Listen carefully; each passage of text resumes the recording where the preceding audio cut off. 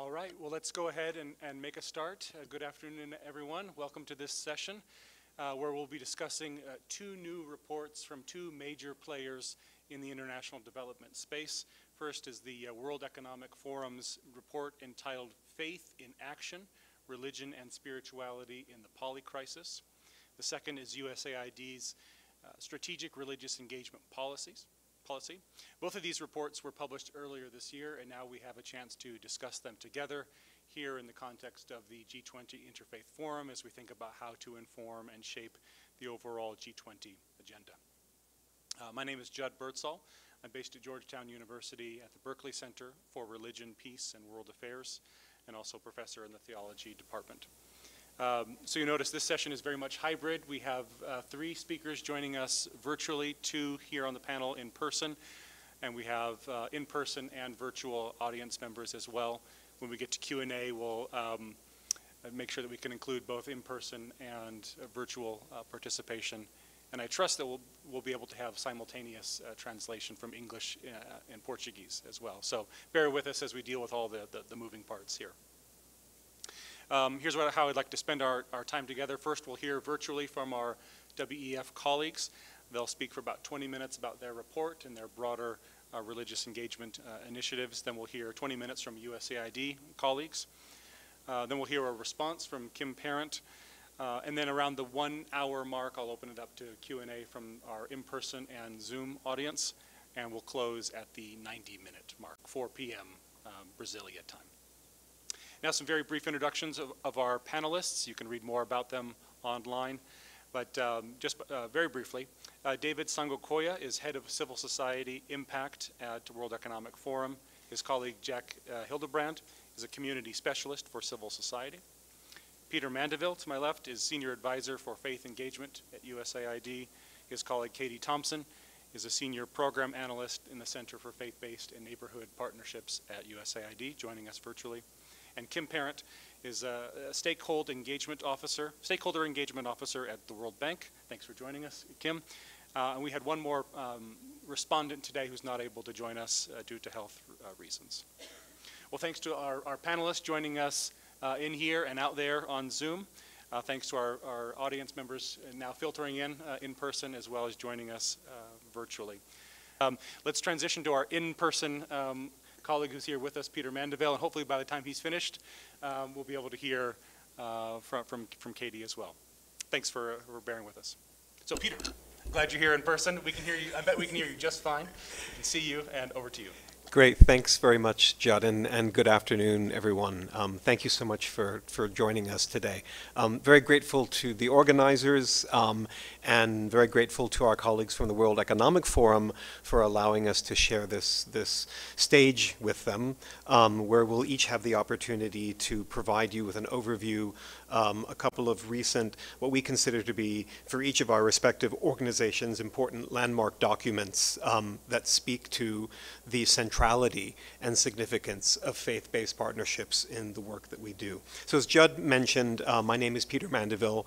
Um, I am USAID Senior Advisor for Faith Engagement, um, and I have the honor to um, provide the lead to uh, USAID's Center for Faith-Based and Neighborhood Partnerships. Um, lest you think that faith engagement is something that USAID has come to very recently, in fact, um, we've been working with faith-based organizations since the 1960s when USAID opened its doors. Um, faith-based partnerships have been an integral part of the work that we do for decades. Um, since 2002, we have had a dedicated spot on, on our organizational chart, an, an office or center um, that has provided an institutional home um, for that work. Um, and more recently, as you'll hear in a moment, we've found ways to kind of try to take that work to yet new heights within the agency and in terms of our outward-facing partnerships.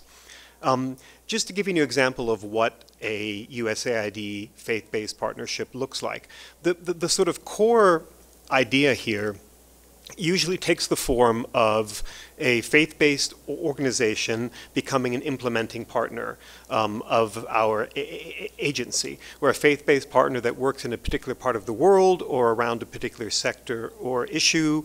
Um, uh, you know, sees that USAID is looking to undertake a certain kind of activity or program um, and responds to a solicitation alongside any number of other organizations and is then selected on the merits to be the implementer of that program. So a typical example, and one that I'll mention because it's fresh in my mind because I had the opportunity to visit it recently, um, is a partnership that we have um, in Indonesia.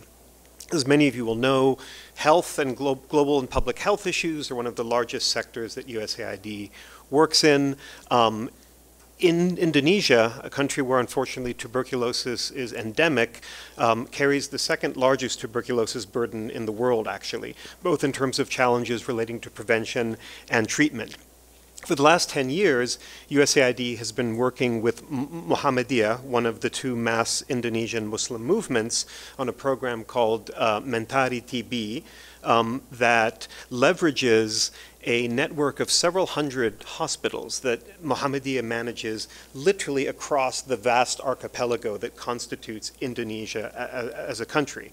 By working with Muhammadiyah on these issues, USAID is able to scale its impact um, and just reach parts of the country's population that we wouldn't be able to reach with other kinds of partners. So that, that's just a typical example of the kind of faith-based partnership that we, we have. Um, our Center for Faith-Based Neighborhood Partnerships, which I mentioned was established in 2002, s- has three core functions. So on the one hand, uh, we serve as a kind of point of entry for faith-based organizations that are possibly interested in working with USAID, but are um, maybe wary of having to figure out how to navigate what can often be a very complicated donor bureaucracy, right? We, we are a U.S. government agency, which means that all of the requirements with respect to compliance, uh, various technical requirements apply to every single acquisition or award that we make. Um, and for kind of local and smaller faith-based organizations, that's sometimes a very intimidating bureaucracy. So we serve as an initial point of contact to help those faith-based partners identify other units and offices within USAID's vast bureaucracy that are relevant to their interests and their capacities and the work that they might want to do. So there's that partnership interface component. The second thing that we do is more inward facing, and it's about um, building the capacity of USAID's own workforce to understand the value of faith-based partnerships and to integrate that work systematically across uh, their programming uh, portfolios. This involves the development of tools and resources um, that, that can help them assess the relevance of the faith sector in the various countries to the work that USAID is doing in that country, um, and various other capacity building and collaboration tools that allow for exchange of experiences and best practices from one USAID mission to um, another around the world. So that, that, that capacity building component is the second piece of what we do.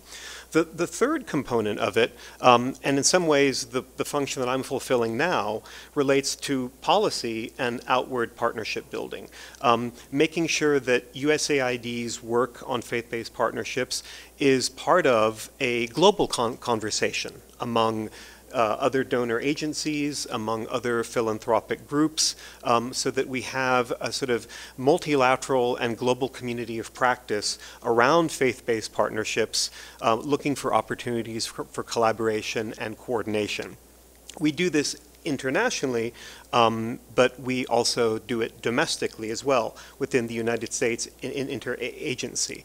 Um, one of the things that we're most proud of, um, and something that I alluded to earlier was the fact that we recently took our decades long engagement with faith partners to, I, I, think, a new level by releasing last year, almost exactly a year ago, um, uh, a, a, report or a, a, policy document called Building Bridges USAID's Strategic Religious Engagement Policy. Um, we're proud of this because it's actually the first time that any U.S. government federal agency has developed and publicly released an entire and comprehensive policy explaining why we work with faith-based partners, the value proposition associated with doing so, and provides a framework um, uh, for, for how we do this work, a, a roadmap of sorts. Um, it's my honor to have the role of leading the implementation of that policy. And I've been in my position for just coming up on four months now, um, and time permitting, would love to share a little bit about what that implementation looks like. But before doing so, and with fingers and you can't see them toes firmly crossed that we can hear Katie Thompson, I'd like to hand over to my colleague Katie Thompson, uh, who will provide you an overview of the policy itself. Great, thank you so much, and echo thanks to the tech team. I can't see you, but I trust that you are there. Um, so, so good to be with you all. Um, I'm sorry I'm not with you in person, but I'm really grateful for this opportunity to join virtually. As Peter mentioned, um, my name is Kate Thompson. I'm a senior program analyst with the Faith-Based Neighborhood Partnership Center at USAID. And I'm going to just spend a few moments talking a little bit about our new strategic religious engagement policy that Peter has previewed. Um, and, as you heard in his kind of introduction of um, the, the, center and USAID's history of, of work with religious communities, um, this, this policy does not represent kind of the first time um, or the first acknowledgement of um, the, the role, important and vital role of, of faith actors in development and humanitarian relief. But, but instead, it's a, a, document that's really big, building on a long legacy within the agency, um, both within the center and across our bureaus um, of engaging faith actors, whether that be religious communities, indigenous populations, um, and faith-based organizations of, of all different varieties. And, and so, I want to just briefly outline um, a little, a little bit of, of background on kind of how the policy came to be, and then, and then walk you through some of the core dimensions of the policy itself. And, so, so, just again, a bit of kind of context. Um, we, have had this long legacy of faith engagement. Um, and, and, it brought us to a season within the last couple of years of working towards um, really outlining for the first time a, a framework for the USAID workforce um, um, to kind of speak the same language, if you will, in terms of how we approach religious partnerships and faith-based um, um engagements. And, and so um, um, we, we undertook as a center and as a, as a broader team within the agency working on the policy, um, a, season of listening to both the USAID workforce uh, in terms of what, what were the needs, the challenges, the opportunities. Um, and, and we also took intentional kind of listening and leaning into a posture of learning with faith-based organizations and really religious actors to hear more about what their experience has been historically with engaging the agency. And so, and so the policy really draws on um, um, many, many of the learnings and important contributions from that process to get, to get us, to a document that is designed to provide the workforce with more clarity on where and when and how we can engage faith actors in a principled and consistent manner. And so, and so just, just to, kind of emphasize um, kind, of kind of the, the purpose of the document, though it is publicly available, we certainly hope everyone will read it. It's really a tool that is designed to guide the workforce itself and shape how we do business. And so just keep that in mind as I, as I kind of walk through some of these points. And so, so thank you um, to, to Peter, whoever just advanced the slide. I wanted, I wanted to just briefly kind of put on, on, on the screen how we're defining strategic religious engagement. I think, think you can see it there. Um, and, and, it's, really, you know, the, the definition is, fairly straightforward, and that's intentionally so. Um, um we recognize that um, this is an adaptive approach. It's one that um, can and often should be applied in a variety of contexts and regions and countries where USAID is operating. And the, policy, um, it has three core goals, and, and, and they really kind of mirror what Peter described as the, um, the, work of the center, but I'll just briefly mention them. Um, one, of the goals of the policy is, of course, to strengthen our partnerships and our work with religious actors, um, with, the end goal of strengthening development and humanitarian outcomes. And so, believing that if our, we have stronger partnerships, that will lead us to um, even more effective and sustainable outcomes. The second goal of the policy, as we've talked about, is really focused on equipping the workforce with the requisite knowledge and skill set to competently and confidently engage religious actors in our work. And the, and third, the third goal of the policy is to more deeply integrate strategic religious engagement as a, as a tool and kind of an approach um, within, within the agency and all of um, our, bureaus and our regions where we're working. And so, and so our, our, hope is that, again, this kind of um, framework is embedded everywhere USAID uh, does business as opposed to just something that lives within the faith-based office itself. If we could, we could jump, jump to the next slide. So the, so the policy, policy um, um it, it begins, begins by, by kind of outlining, of, of course, what, what we know already, kind of what the evidence has to say about the unique role um, um and contributions of faith-based actors. But then, but then it transitions into a set of principles um, um, that, that, again, are designed to help, help the workforce kind of um, shape our engagements.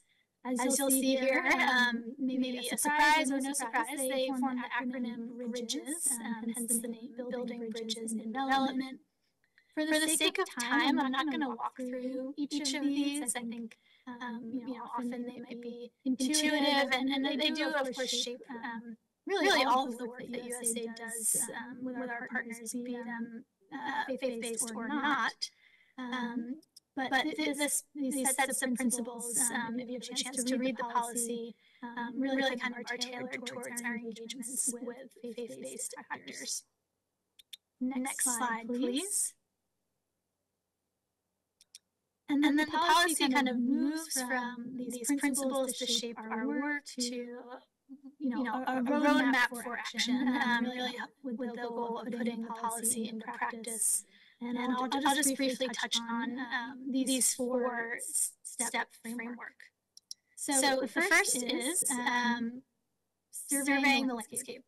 We uh, uh want to take an intentional kind of posture um, and, and, and, an approach to our religious engagement that recognizes that there's no one size fits all approach um, that, that the contexts in which we engage are likely very diverse and different, and so it's important for the USAID workforce um, um, in our missions and our country offices um, um, to be aware of the dynamics and the religious landscape in the context where they are serving. Next, set the foundation. This acknowledges the importance of equipping our workforce again with those requisite knowledge um, and skills to partner confidently with religious communities and faith-based organizations. Peter, Peter can talk in, in a moment about some of the ways we're putting, putting this into practice even now. The, the third step, build together, um, this recognizes that um, we, we want to ensure that religious actors are um, built into the processes of how we are programming our activities um, in, in the various contexts in which we work um, to ensure that religious actors really are part of the design, the implementation, and execution of, of our programming. And then, and then finally, maintain and repair, um, recognizing that um, really, really the strongest partnerships are the ones that are built over time, and often that requires um, a need for maintenance as well as repair. Things um, may not go as, as had been originally designed or hoped, and so this really encourages our staff to cultivate um, the posture and kind of the relationship management um, of maintaining and repairing. And I have one more slide, um, maybe just for a moment we can share it. Um, this is a way to stay in touch with our office and to engage more deeply. I'll note just um, the email address at the, the bottom is probably the best way um, to get any information that you might, might like um, to have about the policy or otherwise. And so, and so with, with, that, I'm going to um, pause and I think pass it back to Peter, who will share just a closing word or two. Thank you. Great, thank you very much, Katie. Yes, absolutely, please do take a photo of this slide because this is the money slide that gets you to everything else. So all the other material we've presented um, is really derived from the policy itself. And so if you go to usaid.link backslash SRE, you'll get the entire um, policy document. Um, and all of these other addresses and links will allow you to reach out to us and connect with us as we very much hope you will. So as, as you know, after Katie provided the overview of the policy, I just in sort of 30 seconds or so wanted to quickly touch on some of the signature and flagship pieces of the implementation process for that policy, how we're taking it from being a document um, full of words to hopefully being valuable things in the world. Um, first piece of it focuses on pushing the capacity for faith-based engagement out to USAID's missions around the world. It's wonderful to have headquarters championing the policy, Administrator Samantha Power publicly launched it herself, took ownership of it. That was great. But we really feel that we won't take this work to the next level until our missions around the world routinely incorporate faith partnerships into their development toolkit. So this involves the development of resources such as the one that we're calling a religion and development landscape uh, analysis. And this is an analytic exercise where we um, take a profile of what the religious sector looks like in a given country and crosswalk it with USAID's own um, master strategy for that country, what we call our country development cooperation strategy document. It essentially essentially lays out and defines USAID's development objectives for a given country, and these are often developed in cooperation with that country's own uh, government, as was the case in the I Indonesia example I mentioned. And the purpose of this exercise then is to identify where there may be partnership potential and capacity within the faith sector that aligns well with USAID's priorities in that country. We're, we're also working on some other technical pieces like um, um, a, a course and interactive exercise called Strategic Religious Engagement in the Program Cycle. The program cycle is the term we use to refer to USAID's base operational model. Um, and it's a sort of a long-term, as the word suggests, cycle that includes everything from coming up with the basic strategy for a country, um, identifying um, sectors and programming activities associated with our goals, um, identifying partnerships, creating and implementing those activities, and then of, of course, crucially, uh, throughout the work, assessing it, modifying, learning, evaluating, and going back to the top of the cycle as well. And it's a tool to help them think about how that, that fits into that work. Um, we're also uh, looking at ways of creating new innovative partnerships with faith-based organizations that are not so much funding FBOs to implement USAID's programs, but to recognize that there are faith-based entities that have their own resources. They're, they, are not looking for a grant or an award from USAID. They have their own resources, and rather they want to come alongside us with those resources and with their priorities aligned with ours in a coordinated fashion to scale impact and output. And so we're looking at some of those, and also just more broadly ways of multilateralizing the conversation about SRE to kind of make sure that there's increasingly a common approach within the global donor community to the ways in which we think about these. So again, thank you so much um, for being with us today and very much looking forward to hearing now from our colleagues from the World Economic Forum. Thank you. Great. Yes. Thank you so much, Peter. Thank you, Katie. I'm glad the technology is working now. Thanks again to our, our tech support for all of that. Let me uh, hand things now immediately over to our colleagues at the World Economic Forum. If you have questions for Peter and Katie, uh, hold on to those. Um, and we'll have time for, for Q&A once we've heard from WEF colleagues and from uh. So um, Jack and David, over to you. Okay, okay. Thanks, Thanks again. again. Uh, I hope everyone, everyone can, hear me now. Um, so, so any issues, just let me know. But uh, I wanted to start by just you know, saying thank you to the event organizers for inviting us to speak uh, and for getting, getting through, the technical, issues, uh, uh, and also for the, for the opportunity to uh, speak alongside our esteemed colleagues from USAID. Um, um, sorry, sorry that we're not able to, to, join in person, but we're, we're very happy to have a chance to highlight uh, some of the recent work that the World Economic has been leading uh, related to religious leaders and, and faith-based organizations. So, so namely, the Faith in Action report, which was released earlier this year.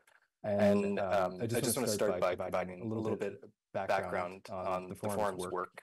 Uh, um, as it might be news to some, that while these activities in the report, you know, certainly mark a new chapter in the forum's engagement with religious communities, the organization itself has historically maintained a, a very close and intentional relationship with religious leaders. Um, from the earliest meetings in Davos, we, we've always sought uh, to include the insights of religious and spiritual leaders and continue to see the growing value of their participation and guidance uh, as long-term and trusted leaders in their communities, but also you know, key voices in addressing societal challenges.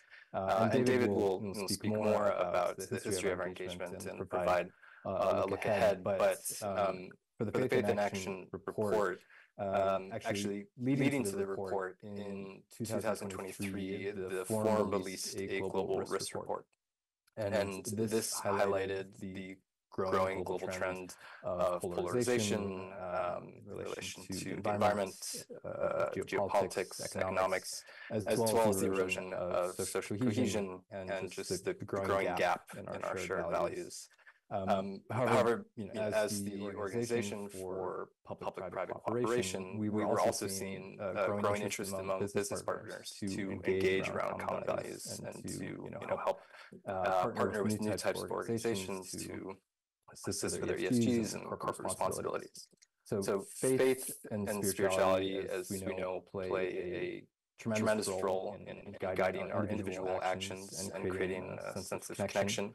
Uh, in the report, we summarize this uh, as, as the power of religion spirituality, and spirituality um, um, under three fundamental factors. Uh, community, which is the shared identity of religion. Creed, which, are, the principles and traditions that are formed over centuries, and, citizenship is the ideological influence that it has on civic participation and consumer decisions. Um, um, so, so, when channeling these, you know, faith can make a huge collective impact uh, on current challenges and provide solutions that are aligned with our most sacred values. So, so these are the elements that led to the creation of the Faith in Action community, and, and then the report. Um, um, and you know, we, we saw this as really our, our key moment to showcase the power of faith-based work. So, so this, this was the, the kind of underlying message that we wanted to share with um, um the, the forum's broader audience, uh, really reflecting you know, you know the, the, the, current impacts being made by faith-based organizations, how global leaders are exploring partnerships, uh, faith actors, and, ways, to consider developing meaningful cooperation with faith, actors uh, uh, and develop while at the time of, of growing polarization. So, um, um you know, we, we also wanted to address some of the major challenges in, the report as well, uh, uh, with the, in terms, of engaging faith, actors, um, um specifically developing skills and structure within businesses and organizations to engage and facilitate conversations through shared values. Um, um, to be able, able to, align religious, ethical, moral goals with, business objectives and, and create a clear value proposition for faith engagement. Um, and, then and then, to, you know, have, have the faith fluency or, the understanding about, goals of faith-based projects. So to, do, to do this, the, the, the, report laid out a concrete groundwork uh, for engagement value. We, we um, um spent a lot of time to highlight, you know, how religion and spirituality can, can make impacts in today's interconnected polycrisis um, um showcasing how faith actors are working in partnerships with global leaders, especially for partnerships with the private sector. Um, um we included eight faith-based partnership case studies. Um, some of these were on the environment, health, inclusive societies, and uh, technology governance. And, and, finally, the report helps to identify what are the key drivers in developing those meaningful cooperation uh, uh, and, and partnerships and creating, greater faith fluency at a time when there is a, a decline in trust. So, so I, know, I know we don't have enough time to dive into all of them, but um, I, I just want to quickly highlight two, which I believe are most relevant to the Interfaith Forum's priorities. Uh, these relate to food and environment, and also conditions that uh, would lead could lead to human trafficking as well. So on the environment and sustainable food systems, um, um, you know, there's a clear opportunity for religious traditions to be a driving force in developing partnerships and creating impact by drawing from the common thread of environmental care that is across all faiths. Um, all faith actors possess considerable size and influence, though um, they, they often lack the expertise to bring you know, environmentally conscious products and services to market.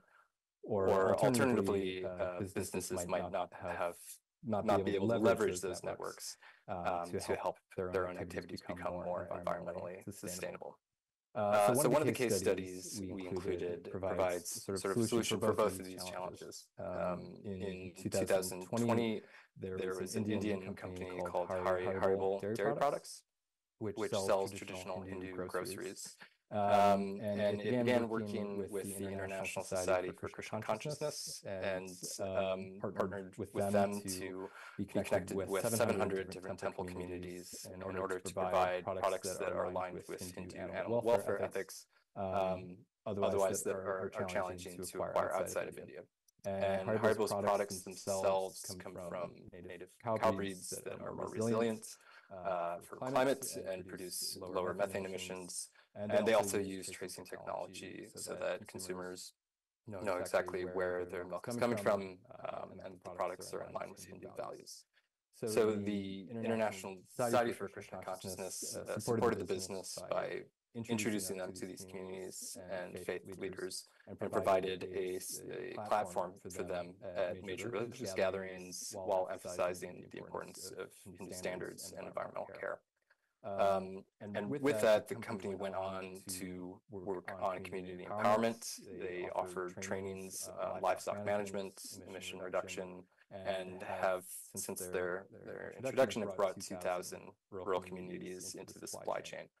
So um, um just as a key lesson, you know, we see this as business, um, businesses should acknowledge the opportunities that exist with marrying those faith networks with environment-friendly goods, uh, uh while faith and value-led solutions uh, should also be explored as a way to provide positive social and economic impacts on these communities.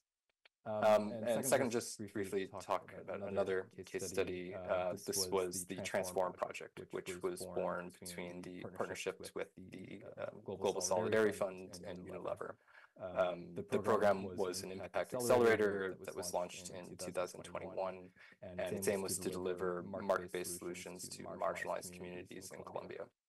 So the program itself uh, uh aimed at fostering social entrepreneurship and broadening labor market access to migrants and refugees, uh, and one of these social enterprises, for example, was the uh, uh Powered by the People, which was a wholesale market that helped to enable uh, artisanal makers access to global markets through a business-to-business tech platform.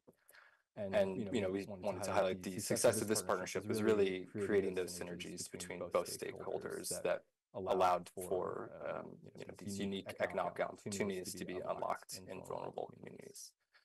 So ultimately, um, from, from these case studies, we hope that the report's findings would serve as a practical guide uh, uh and contribute to the creation of more robust, scalable frameworks for effective collaboration between both business and faith. And, um, um you know, just to kind of close uh, on some of the recommendations from the report as they would apply to um, the interfaith forums, um, parties, and, and the, within the G20's agenda, um, I, think we would want to stress that organizations need to increase their readiness to be able to engage with FBOs while also respecting differences. Um, and this can be done by creating more of a, a fostering, fostering environment that uh, encourages engaging with more diverse stakeholders um, and also the ability to, to discuss and, and address those challenges. Um, second, having more alignment on goals. Um, businesses need to develop more faith fluency in order to really genuinely depict their understanding and the value of faith-based partnerships um, rather than pursuing engagement as a, a token um, or for public relations. And this means really uh, developing faith fluency that allows for more strategic and contextual understanding of faith communities and traditions uh, that can allow meaningful engagement. And, and finally, uh, building better public perception and trust. Um, so this can be uh, awareness campaigns, workshops, educational programs to help inform the public about faith, um, and inform employees about the value and positive impact of faith-based initiatives, and also to encourage more interfaith dialogues to help bridge any sort of understanding.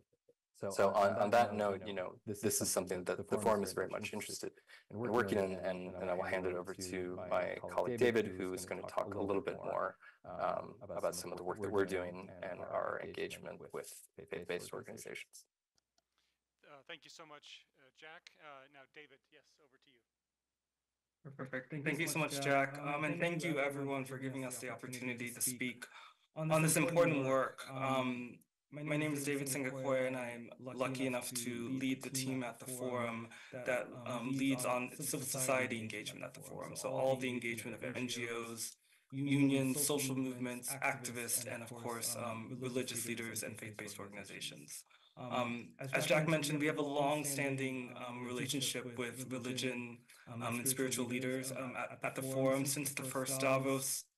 Um, our founder and chairman, Professor Klaus Schwab, felt it was important that as we're bringing together leaders around the global agenda, that we make sure that we are we are portraying well the world of faith, and that faith is a key part of how we're seeing and understanding the world, the traditions, and the different trends that are happening around the world. And that's since the first Davos um, around 55 years ago. So as part of that history, we have roughly 125 more active religious leaders, faith-based organizations, and experts of religions that we work with um, over 10 of the world's major religions and spiritual traditions, reaching about 3 billion people globally. It, we're, we're honored to be able to hold these relationships over time and learn from them through the work. As part of the civil society engagement at the forum, it's our team's mission to make sure that these stakeholders, among other stakeholders, are engaged across the forum's work, which are housed in 10 thematic centers, where we do um, you know, a series of initiatives, leadership communities, etc. Additionally, we ensure that we have the presence of religious leaders during our annual meeting in Davos in Switzerland, where they come in to talk about the state of the world and bring perspectives from their various traditions.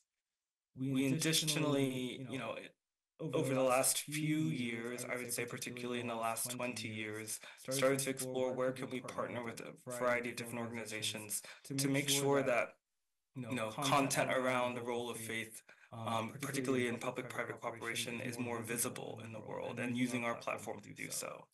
We have um, brought together leaders around uh, what we call a transformation map, which is um, essentially put together strategic intelligence around what are the latest trends around a certain topic and push that out to business leaders across all of the forums industry communities. So we work, um, I, I, think on this work, we worked with Religions for Peace and a few other leaders to bring that together.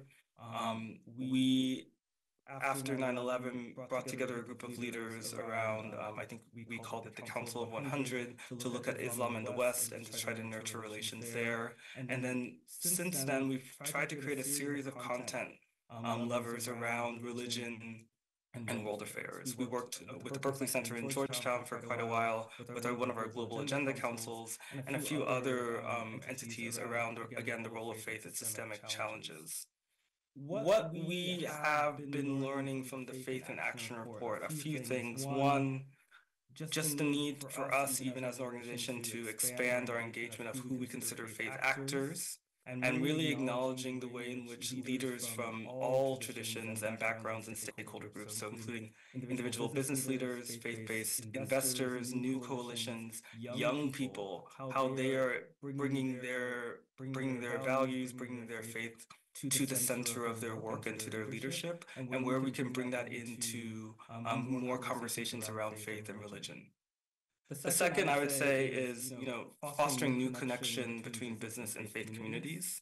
If you, can imagine in the bureaucracy that can sometimes exist in organizations like ours, the faith organizations engagement can sit on one side, the business engagement sits on the other side. Where can we create those synergies, especially when there are several business leaders who are looking for more of that engagement, looking for more examples of where they can engage with um, faith-based communities in a way that makes sense, in a way that will have impact. Um, and then lastly, I think for us as a platform and as uh, the Organization for Public-Private Cooperation, we're trying to create an important space around dialogue and impact, where each stakeholder can see what the value proposition that they bring together, and we can foster the types of partnerships that we're seeing, um, both in the report, the type the type of work that USAID is championing in its own right, um, and you know where we can you know bring together these entities to learn from one another, because these partnerships didn't come from nothing. They came from a lot of hard work and a lot of the individuals I think who are in the room and definitely on this call. I can see with Katie um, and her colleague, you know, it, it came from those individuals who really championed it through the different channels. And so, where can we talk about when partnerships get hard? How can we create a space to do that in a way that makes sense, that is safe, but then also we can celebrate where we're seeing more and more um, business and other leaders um, take those risks and see the value. Um, I'll, I'll end just because on a note on the report just to say i think the one of the greatest things to see was that you know business leaders weren't are weren't afraid of doing this engagement and are were not leaving impact on the table. where there was interest and where there is value they sought the opportunity. they came through our, the trusted network of the forum to do so. and so we're we're looking to see what else we can do with our platform to foster these types of partnerships.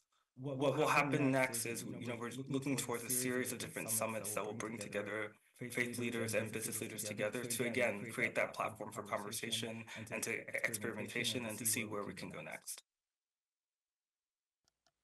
Great, thank you so much, uh, David, for sharing with us, and congratulations to you and your colleagues for the new report. Um, let's show our appreciation to our virtual WEF colleagues.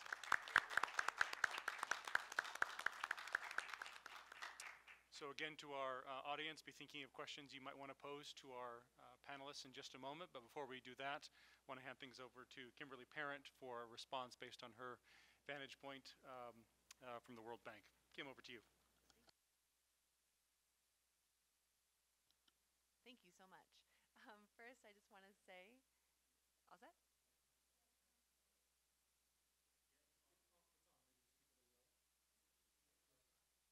Can you hear me now?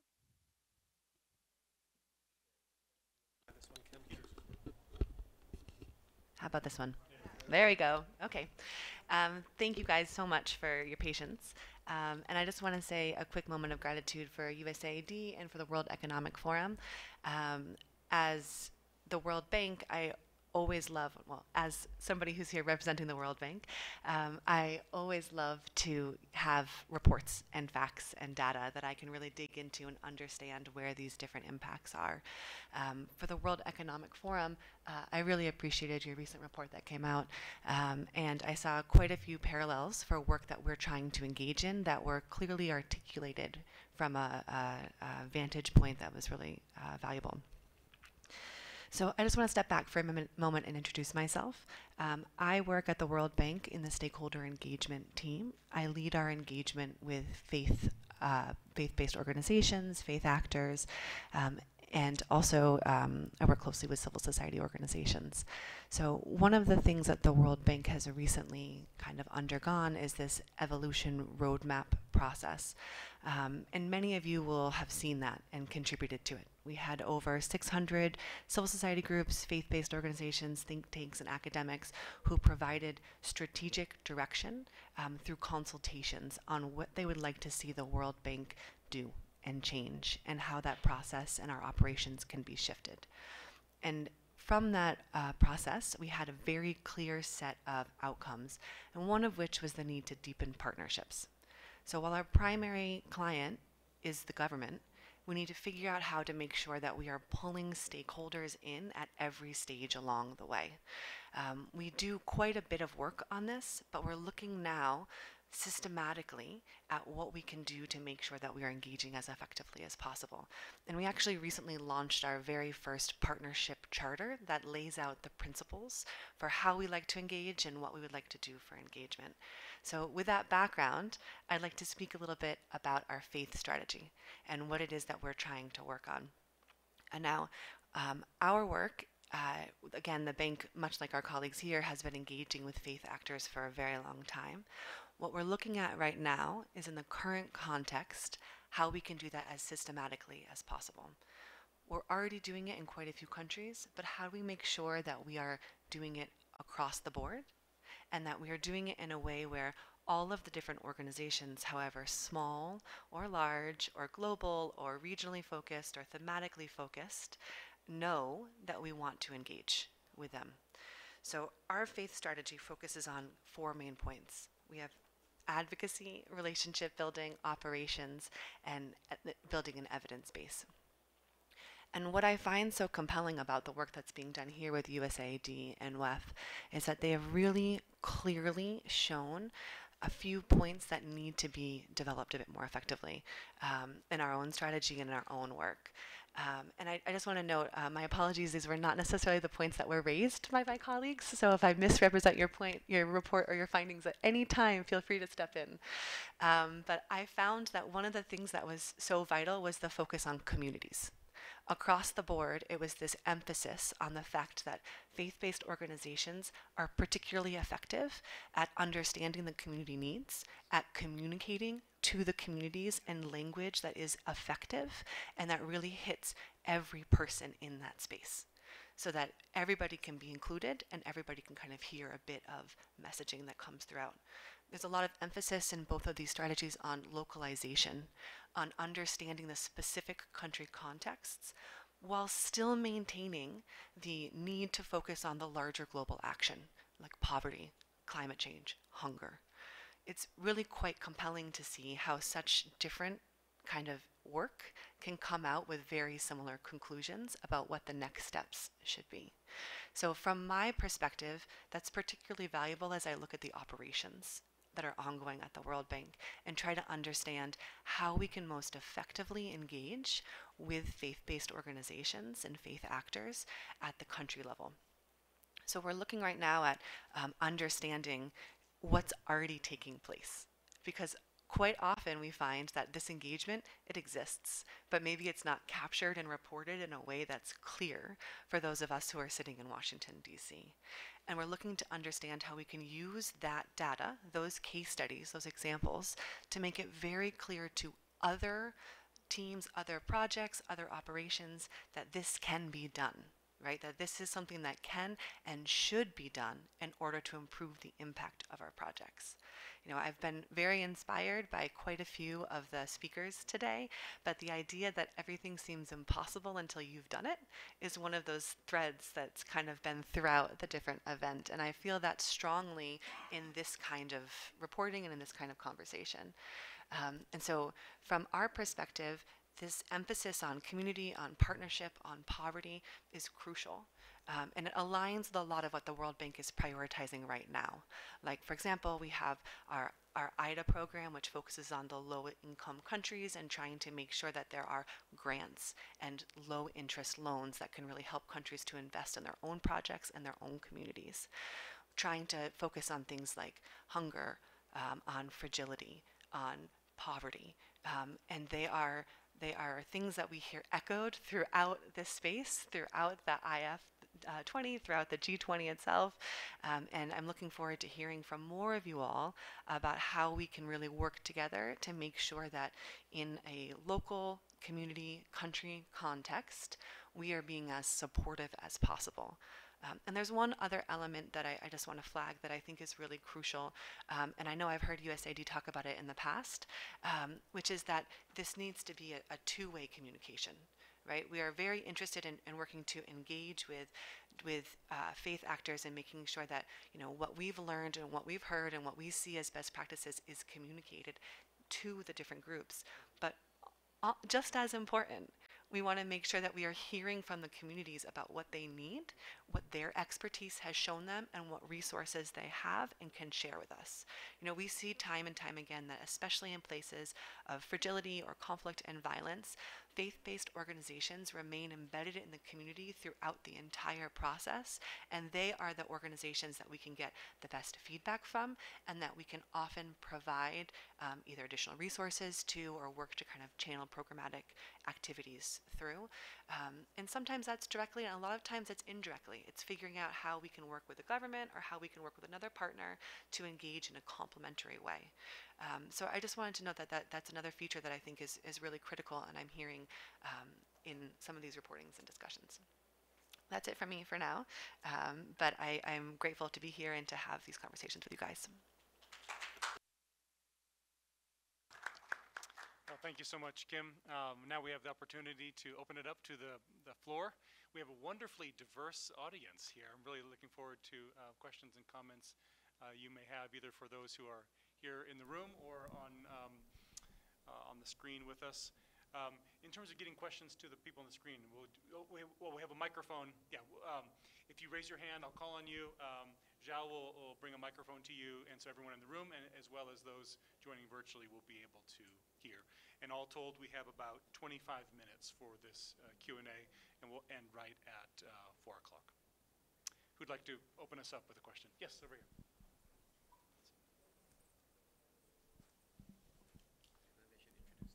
Yeah, and if you could introduce yourself briefly, that would be great. Yes. Uh, my name is Bina Nepram. And I'm the Senior Advisor on Indigenous Issues, the U.S. Um, Institute of Peace. It's wonderful to see my former colleague right now doing really good work. Uh, my question is really, really important, the work that you mentioned in Indonesia and the work growing worldwide. It's really inspiring. The last two days have been also interacting with so many faith leaders uh, is making us understand how important this issue is. My issue is, uh, question is very simple. In terms of this uh, uh religious strategic engagement, have you uh, engaged with indigenous religious actors in your work, or are you planning to? And in what way can this be another factor in terms of covering over 476 million in 90 countries, can be an added advantage to the work that you're already starting? Thank you. Thank you so much for the question. Um, Peter or Kim, do you want to uh, take an initial uh, attempt at responding to that, and then we can open it up to our, or, or bring in our, our virtual speakers as well. I'm, I'm happy to, and Bina, thank you for the question. It's wonderful to see you again as well. So um, there are maybe two points to make in response to your question about where uh, a focus on indigenous communities and the unique perspectives and experiences and resources they bring to so many of these issues, how that relates to USAID's work. Um, uh, USAID's faith-based center um, is bureaucratically lodged within a, a, structure called the Local Faith and Transformative uh, Partnerships Hub within USAID.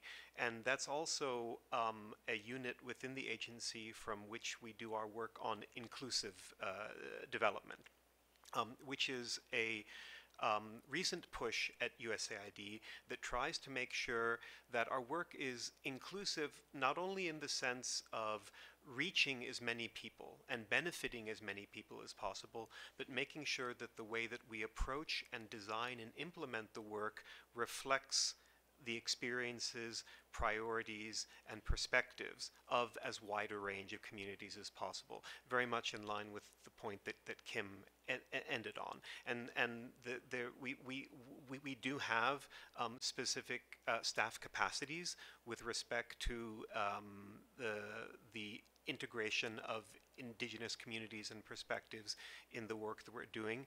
It's not nearly at the point that it should be, but it's something that we're quite open about and, and working on. The second piece of it does relate more directly to the faith-based center's work, particularly um, our efforts to encourage those of our colleagues at USAID who do work on the natural environment, um, climate change, to recognize um, that um, the religious perspectives and practices of indigenous communities um, are often vitally important um, in terms of their understanding of the natural environment and how it relates to the spiritual values and, and systems that define their lives and, and cultures, and that this necessarily needs to be integrated into the work that we're doing. So, for example, um, so you, you, USAID um, does work in partnership with the government of Brazil um, around the Amazon rainforest ecosystems um, and partnerships with indigenous communities are a vital component of that work. Um, and we're starting conversations with them right now um, about where um, Amazonian indigenous spirituality um, finds a place within that work. Thank you.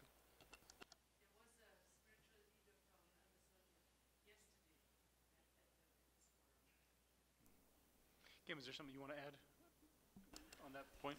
I just wanted to note that from the from the World Bank's perspective, that kind of sits into again two different spaces, right? We have a team that looks after Indigenous rights and other activities and communities that take place through different projects, um, and then from the faith engagement side, you know, we are happy to engage with whoever would like to engage with us.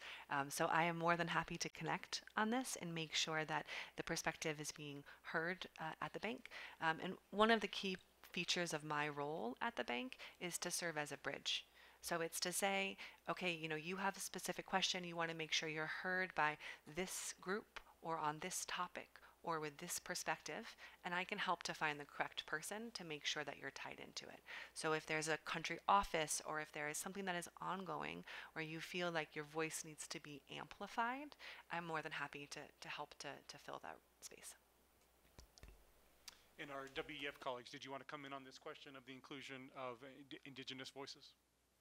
Yeah, yeah, no, I'll be very brief. but Um, so we, um, it's part of our remit as civil society. It's a very broad remit, but it also includes the engagement of indigenous leaders. Um, at the forum, we engage them as experts across all the work that we do. We, we recognize where the lack of understanding of where indigenous knowledge fits into solutions is a big problem. And so as part of that, we've created this global indigenous knowledge and leadership network where we're bringing, you know, we're engaging with indigenous peoples across all the seven socio-cultural regions to better understand where their specific knowledge can contribute to nature-based solutions, can contribute to trade, can contribute to a variety of different topics. And, you know, that's a community that exists on its own that, you know, and all the members members are part of existing forum work. And so that community is, we've launched in Davos a couple years ago and is moving forward. Um, we, in terms of the indigenous faith work, we, um,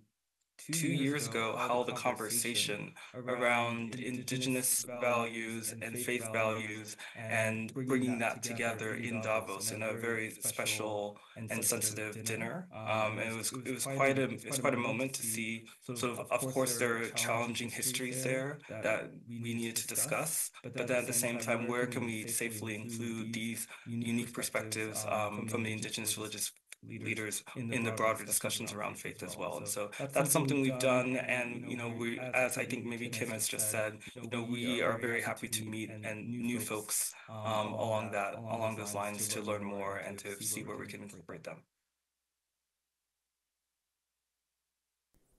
Yeah, thank you so much. That's great to know about the Indigenous Global Indigenous Knowledge, Knowledge Network. Um, how do we connect with, with you all on this? Because you are virtual. Kim is here. We can catch her, but how do we get hold of you? Yeah, no, our apologies. I think what we'll have to do is we'll have to send out sort of information on where you can connect with us. We do have some links um, that hopefully maybe we can connect with the organizer on that. But we have links to all of this work that you can learn more um, and learn how to get engaged. Great, thank you. Uh, uh, second hand I saw was back there, this gentleman back there. And then uh, who else has a question, just so I can jot down?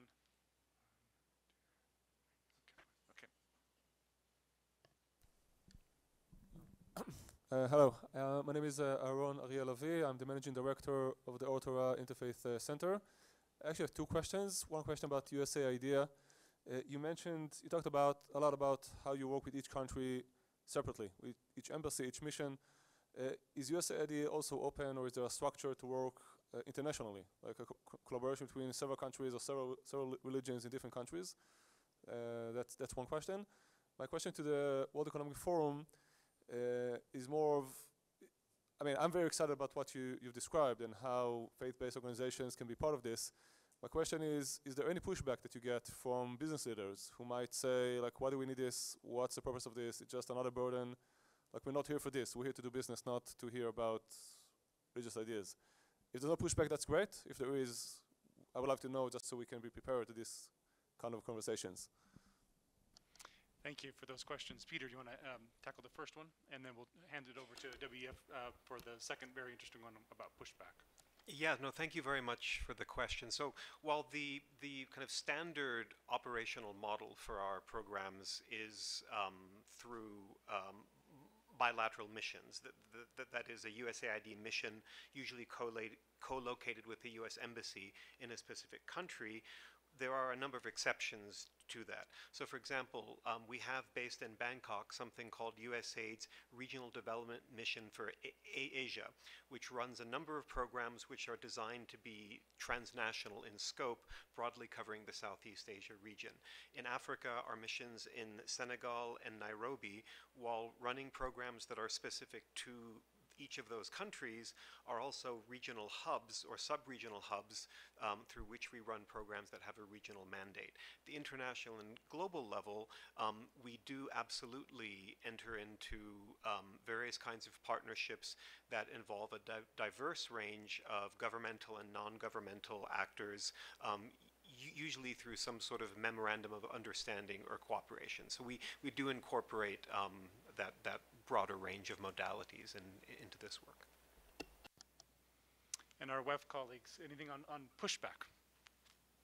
Yeah, yeah, so happy to answer that and great question. Um, so, you know, I think for us, we have um, kind of the advantage uh, of these very close relationships with our business partners as well. And I think that the current stage that we're in or the, the current you know era it's it's much more open than it might have been in the past in terms of what types of organizations um, are deemed worthy or would be effective for for partnerships. and i think that a lot of this is you know in credit due to the the work of faith-based organizations and becoming much more vocal uh, on the global stage so just you know for example with the faith pavilion uh, at the COPs I, I think that you know, the, the value, expertise, and trust, especially that uh, faith-based organizations have established, uh, in addition to just historically being the service providers for housing, nutrition,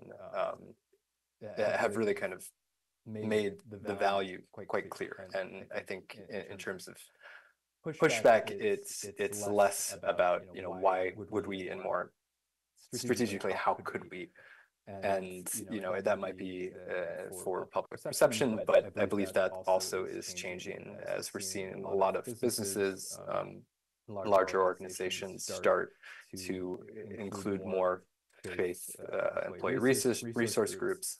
So I think the next intuitive step is really, you know, how can we go from these kind of internal spaces to actionable partnerships that reflect the exact same types of uh, levels of inclusion and, um, you know, innovation in terms of partnerships.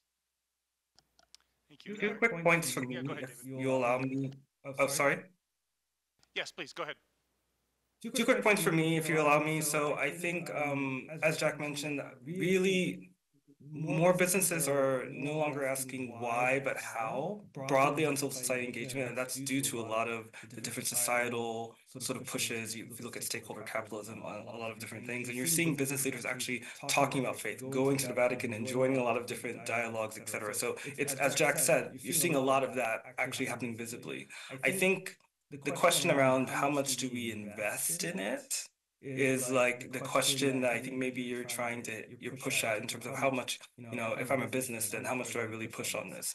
answer that's the types of conversations that we're trying to host more and more because you know some businesses are afraid about their neutrality by engaging on some of this work. We definitely have seen that over the last few months um, of what's um, around the Middle East crisis. And so I, I, do think there are those sensitivities that are real, that do exist. But again, on our side as the forum, by having this, these spaces for constructive dialogues, we're hoping to show that it's possible, um, that it can happen. And if you're looking for how, there are a lot of great examples to look forward to. Thank you, David. Katie, anything you'd want to add? Nothing to add. Thank you, Judd. Okay, great. All right. Well, we have uh, looks like about about 12 more minutes, and there were there were two questions here and two questions on this side. So, in the interest of time, when we do these, both gentlemen here had questions. You want to bring the yes? Yeah, we'll come to you. Um, why don't we take these two, uh, and then have another round of answers, and then the two on this side. Yeah, thank you very much. I think uh, my name is Sheikh Ibrahim Lethome from Kenya. I am a Muslim religious leader. I have an organization called Center for Sustainable Conflict uh, Resolution, And what we do mostly is use religion to counter violent extremism. Because as you know, we are next to Somalia. Of course, we work closely with USAID, Kenya. But what I believe is that for effective partnerships, we need to understand one another. And I'm glad I had something to do with building the capacity of faith-based organization and faith leaders to understand how USAID, the World Economic Forum, acts. What I want to know is, on the other side, is there any deliberate effort or programs to build the capacity of USAID and the World Economic Forum to understand religion? Because I think it has to be mutual. Remember, when you talk about strategic religious engagements, are talking about having common goals. And for us to be able to, to work towards that common goal, I think there should be understanding. I personally sometimes find myself at a loss. I do not understand how you operate. I need my capacity to be built to understand. At the same time, sometimes I feel uh, the development partners do not understand how faith organizations operate. And therefore, I feel there should be a, a deliberate program also to build your capacity to understand how religious organizations operate. That is my concern, and thank you.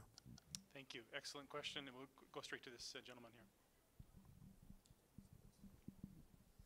Um, I can I can speak in English, but I prefer speaking in Portuguese, and you can help me to translate my question because I think it's ah okay, it's okay, né?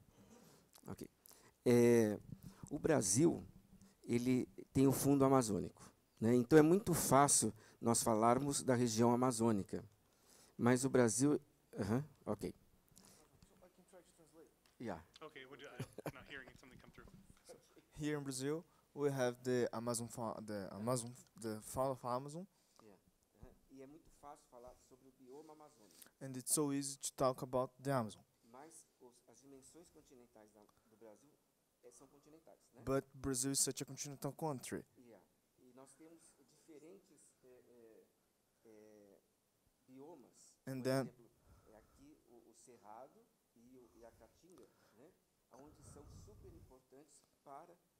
sem fome.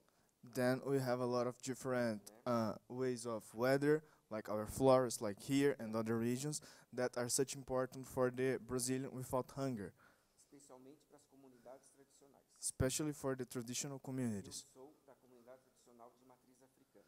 I am from an Africa one. E eh, nós temos essa dificuldade, né, é, de financiamento de projetos é, com o olhar da segurança alimentar tradicional. And we have this problem, that is the financial of projects with the traditional point of view.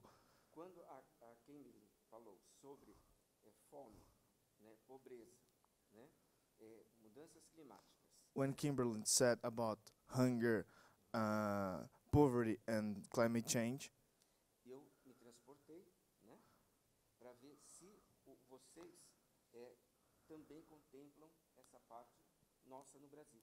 I get in your point of view to see if you guys contemplate our point of view, the Brazilian point of view. E como que nós do Brasil and how us from Brazil can can interact with us.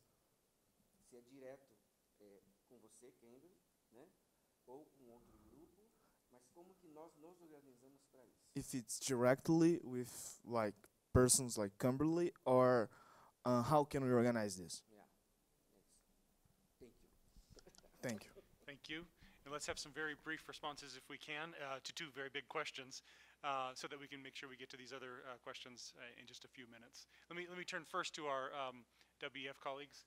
If you'd want to um, take a crack at uh, either of these questions, particularly maybe the, the capacity building question. Sure. sure. Happy to do so. Um, so yeah, I, I mean, I think that's a really great point. You know, we we we certainly need, you know, as an organization ourselves to really be able to understand the landscape and kind of highlight what are some of the challenges and then you know what are the most promising areas for these kind of common value solutions that we can bring uh, a more diverse stakeholder group around, um, we ourselves have to be very familiar with what the territory looks like. And that is something that we are absolutely doing. Um, so in, in the build up to the Faith in Action report, we created a multi-stakeholder community um, not unique in name. It was the Faith in Action community. Um, and this uh, community brought together voices from faith-based organizations, uh, as well as senior religious leaders, um, together with those of, of businesses, public figures, thought leaders. And, you know, this is where we really kind of had the chance to just listen and, and um, you know, figure out what are the challenges in terms of building capacities you know and a lot of this came from language from understanding the complexities of um, faith-based organizations and, and how businesses work their processes uh, but this is you know it, it's an ongoing evolution in terms of you know how this capacity changes and this is something that you know we're continuing we're committed to continuously uh, providing a platform for uh, and growing this faith and action community so that we ourselves as an organization you know are are fit to be able to host those types of conversations and to you know build the capacity of others. others. on screen katie or, or david Sure, I can jump in briefly on USAID's behalf. Um, I think, you know, we would completely agree um, on the concern and the kind of the good question around strengthening the capacity of our own workforce. And our team dedicates, um, I would say, at least 50%, but perhaps more, um, of our efforts towards um, towards that internal focus on ensuring that our colleagues have the tools and resources um, and knowledge to engage um, religious communities well um, and consistently.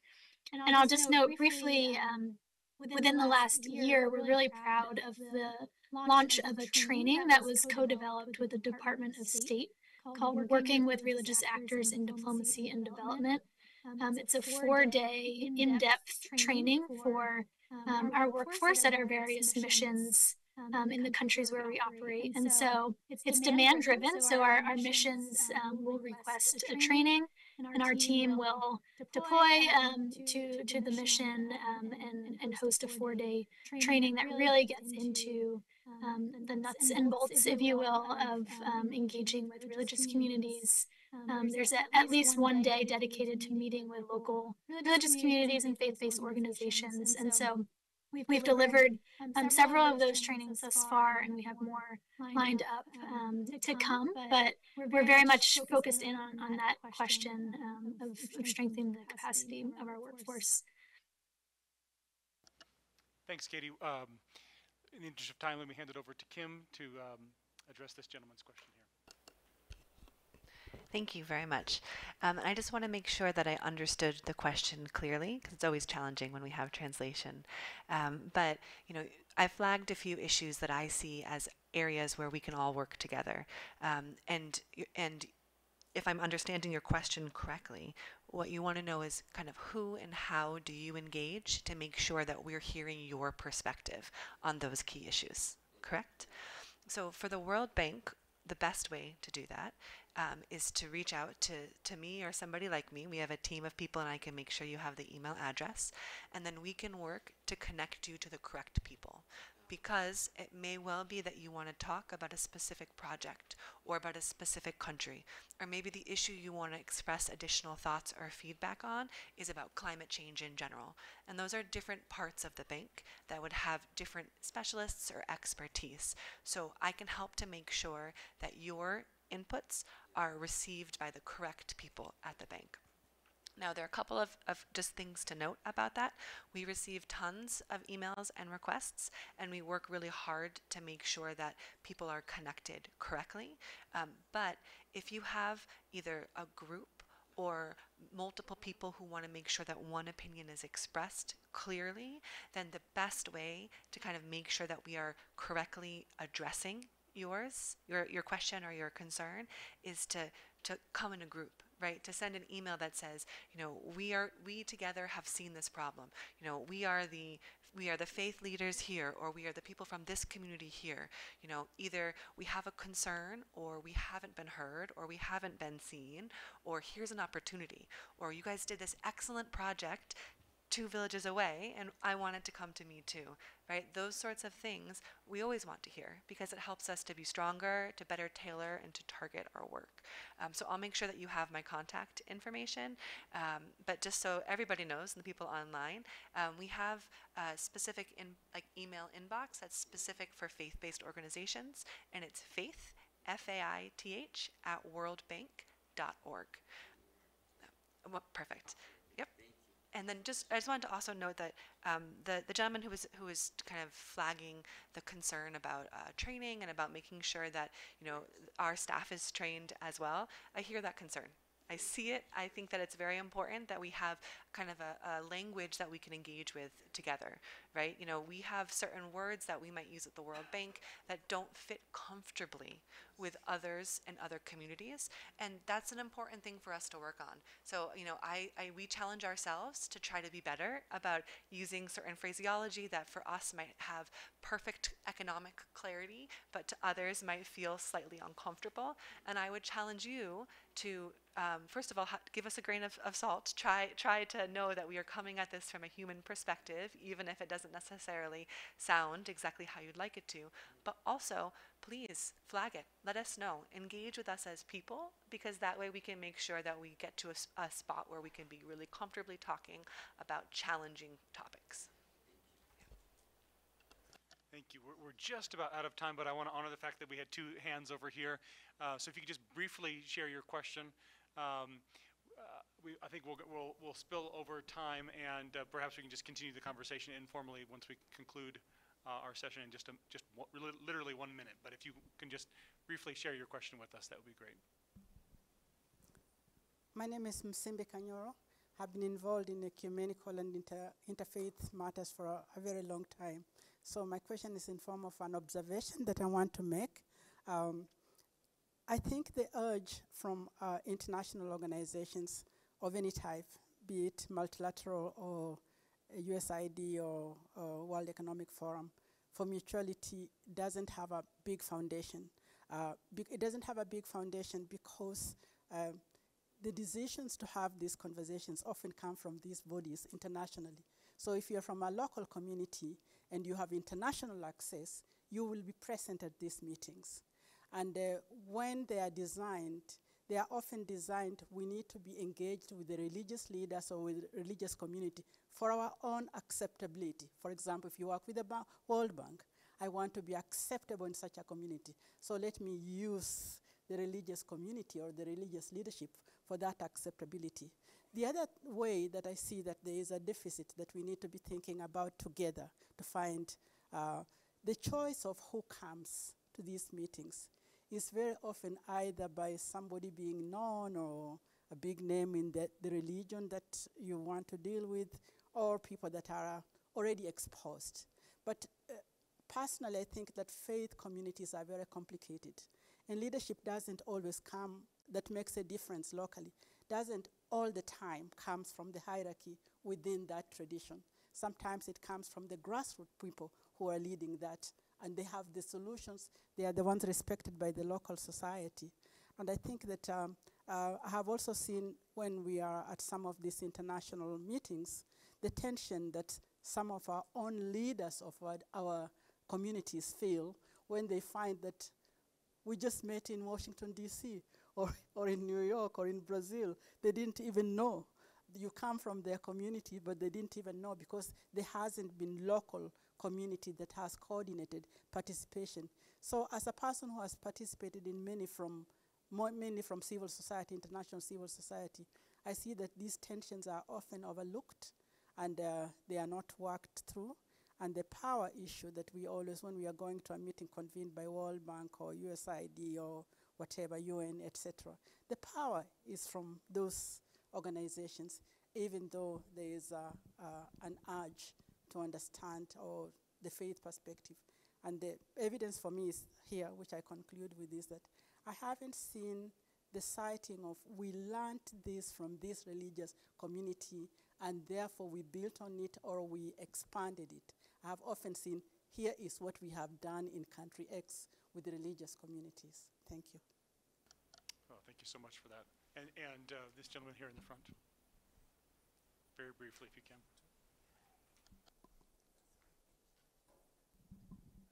Thank you. Uh, my name is uh, from assistant abbot of the Vasikya Temple, Golden Mile Temple in Bangkok, Thailand, also the Institute of Buddhist Management for and Peace Foundation. Uh, I just want to ask how we gonna work with USAID or World Bank or World Economic Forum more effectively. Uh, the first thing I would like to share, because uh, there are more than 30,000 temples all over the country, all over the Thailand, and even in small district, it's like a center of community, but they don't claim themselves or they don't aware that they are faith-based organization. So I think the concept is quite different. So uh, I myself have experience to work with USAID indirectly on the the no ivory, no tiger amulet. The problem is uh, when Katie shared about the that's SRE and also that full step, that very good. But from my real experience, it's not that. I share a lot of things that, okay, when we work on the no ivory, no tiger village, not just only work for religious leader, we need to engage villagers or small temple in the very remote area. And also now, the e-commerce play a very crucial role. Like we, we have demand from our neighbor country, for example, we need to work on that as well. But it seemed to me, I, I, I kind of the, the ambassador, spokesperson for this campaign, two times in the row, but they, it feel I felt like it was taken seriously. So they just only hire marketing agency and put the script on my mouth, and I deny that because it's not the way that the religious leader convey. So my point is uh, how we're gonna work uh, together more collaboratively, more effectively. Thank you thank you for these questions, and I'm sorry that we're running uh, over time. I wish we had another half hour because these are actually enormously important questions that were just raised by two uh, civil society actors. Um, if you'll indulge us, maybe we'll just go for a couple more minutes and then we'll conclude where we now have a half hour break uh, before the next session. But I think we need to um, uh, at least begin the conversation in response to these two, two questions. Maybe just 30 seconds from our, our panelists and then we can continue uh, more informally after that. How about uh, the ones in person here, um, Peter and Kim, and then we'll go to our virtual uh, panelists. Sure, thank you. Our, our colleague in the back there ra raised a set of questions that really we need like three hours to kind of talk through them because they're, they're crucially important. And they also relate to the point that was raised about mutual understanding and, and the capacity of those who work on the donor international organization side. So, you know, we often talk about the, the skills and the capacity that we're trying to provide in terms of religious literacy. Right, so what does religious literacy for USAID professionals look like? If you have a limited amount of time for training and professional development, what do you do with that time? What do you teach them? Do you teach them the history and beliefs of, a, of different religions? I, I, don't think so. I don't think that's a good use. That, maybe that's even dangerous because to give someone a little bit of knowledge about a vastly complicated religion and then they think they know Islam or they know Christianity because they took a two hour course, that's very dangerous. Rather, I would like us instead to focus on things that we heard both of our colleagues on this side talk about. One, the idea that when a development agency enters the social field of religion, that is by its nature a political gesture. It becomes mixed up in local politics that define the relationship between religion, society, and, and the state. And these kinds of maneuvers begin to happen. And development agencies need to be attentive to the vast power asymmetries that are often present in that e equation.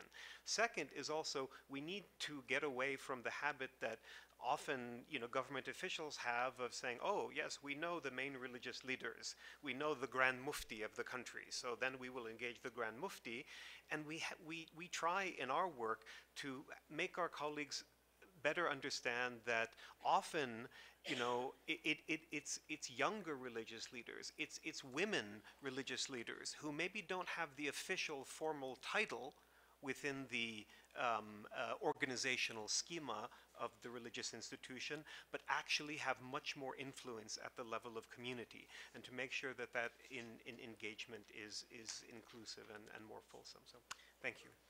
Thank you, Peter. Kim.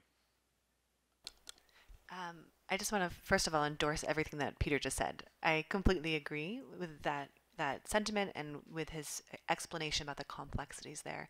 I wanted to add one quick comment, um, which is just that this idea of of shifting a story to telling it about you know what we've learned from this religious community, I think is incredibly valuable, and I'm really glad that you flagged that. Um, you know, we do have those kinds of stories for some of our partners with civil society, or for some of our partners who are maybe farmers organizations or other smallholders, um, but it's not something that we've captured effectively yet. But it is something that we have learned from. Um, and so I'm really glad that you brought that point forward, and, and I, it's something that I'll, I'll take forward in my work. And to the Zoom room, uh, anything else you'd like to add uh, in response to the questions just posed? Just a quick comment from me. Um, I appreciate the comments um, that came from the floor. Um, on the learnings, you know, that's why on our side for the case studies, we do reflect, you know, what did business learn, what did the faith actor learn in each of the case studies, and that's a key part of what we're trying to do in terms of the community we're bringing together.